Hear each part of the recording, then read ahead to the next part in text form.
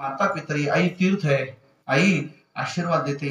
मळून या घाण होऊन या अपवित्र होऊन या तीर्थरूपी आई स्नान घालते आणि तुम्हाला पुन्हा पवित्र करते पुन्हा चांगली बनवते. ही गादी सुद्धा आई आहे. कोणीही या इथं उभारून भगवत चिंतन करा ती तुम्हाला एक उत्तम दर्जा देते. किती मोठा दर्जा देते ह्या काही सांगायची गरज नाही. फार मोठा दर्जा देते. पण ऐका ज्ञानोबारांनी पुढची वापरली. ज्ञानोबरा म्हणजे एकानं आई बाजारात उभी केली. नुसती नाही केली. तिच्या अंगावरची साडी काढून घेतली उभी केली. लोक म्हणले अरे आई अशी आई जगात दाखवतात का नागवी?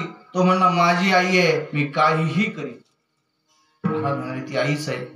ती तीर्थच रूप आहे. ती पुण्याला नेणारीच आहे. पण ज्यावेळेस तिची अवहेलना करता त्यावेळेस ती नरकात नेते. आपुलीच जननी नग्न करुणी दाविल्या जणी ते तीर्थची परी पतनी कारण होय.